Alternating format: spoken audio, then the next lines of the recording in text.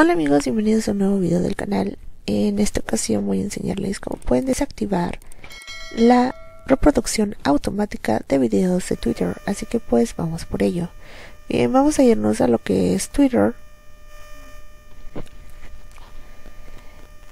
Vamos a esperar a que cargue. Y una vez estemos aquí, vamos a irnos a nuestro menú principal, que es en la parte superior izquierda.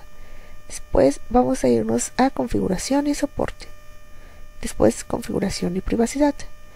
Ya una vez estemos aquí, vamos a deslizarnos hacia abajo y nos vamos a ir a la parte de accesibilidad, pantalla e idiomas. Bien, ya que estemos aquí, vamos a irnos a la opción que diga uso de datos. Bien, después vamos a deslizarnos hacia abajo hasta la parte de video. Y aquí vamos a encontrar la opción que diga reproducción automática de video.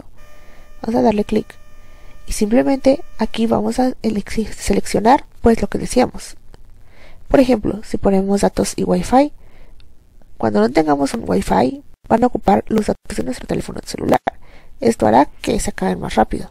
Si solamente es cuando esté el wifi, pues solamente cuando haya una conexión estable podremos poner esta reproducción automática y nunca es que nunca se van a reproducir los videos a menos de que tú les hagas clic. Y bueno chicos, de estas formas pues puedes ahora sí que desactivar la reproducción automática de video en Twitter. La verdad es muy fácil y útil. Y bueno, si necesitan ayuda pueden dejarlo aquí en los comentarios.